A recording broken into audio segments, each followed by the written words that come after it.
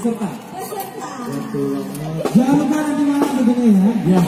Nanti malam kita ada live competition di audisi kita pemenang dan pengumuman